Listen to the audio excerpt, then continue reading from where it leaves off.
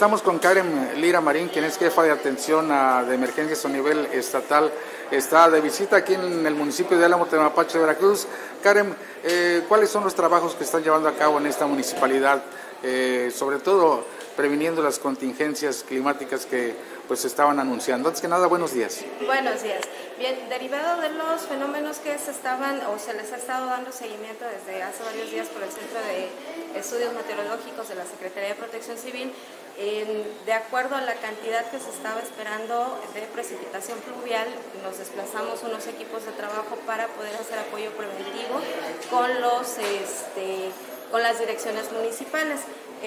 la estancia de nosotros aquí en su municipio es precisamente para coordinar acciones y em, dentro de la, de la reunión que se tuvo previa el día de ayer, ya el director municipal tiene implementado el Comité Municipal de Emergencias con las dependencias locales para poder atender a la población, por lo cual nos comentaba que ya eh, inclusive hicieron eh, difusión a medios para que la población tomara las debidas precauciones y en dado caso de que fuera necesario hacerse la evacuación preventiva a refugios temporales que protegieran obviamente sus bienes inmuebles, pero principalmente su seguridad.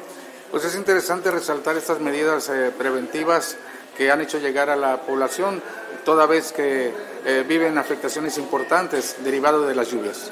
Así es, eh, como todavía continuamos dentro de lo que es el periodo de lluvias y huracanes 2019, sí se invita a la población a que continúen el seguimiento de medios y de fuentes oficiales donde nos indiquen, bueno, si viene algún fenómeno, tomemos las debidas precauciones, tomemos en consideración el armado nuestra mochila de emergencia y si la autoridad local o la autoridad estatal nos indica que debemos desplazarnos a una zona segura, bueno, vivimos en zonas vulnerables, considerar que es por seguridad de nosotros y nuestras familias.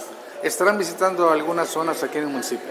Eh, de aquí del municipio ya hicimos recorrido junto con el director municipal este, en las zonas que ya tienen ustedes marcadas como zonas vulnerables a inundación. Y nos, en dado caso, por ejemplo, el personal de emergencia se está atendiendo también en otros municipios que sí la precipitación fue mayor a la que tuvieron ustedes para poder atender cualquier situación con la población.